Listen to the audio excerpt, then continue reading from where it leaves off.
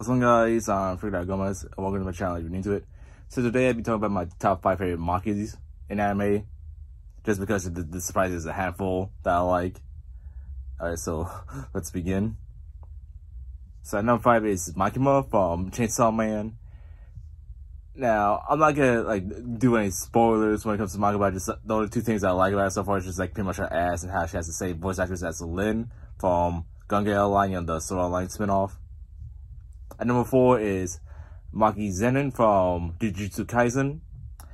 To my to my surprise, like she's also like a twin, like and also like she's like the elder of the twins, and like really shocked what happened to her in season two.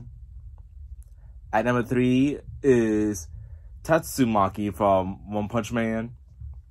Yeah, I'll be into like petite girls, like girls with green hair, all that. It's just like if you notice the pattern of what comes of my interests.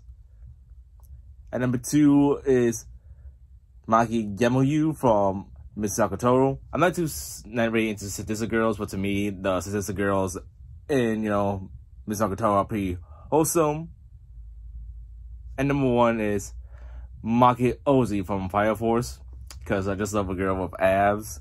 Uh, yeah, she's definitely ripped. I mean, like, goddamn. So yeah, if you notice the patterns, like, it's just like, when it comes to my interest with women, here they are. So thanks for watching, guys. Who likes it, new Dragon plays whenever. And yeah, till next time. Bye!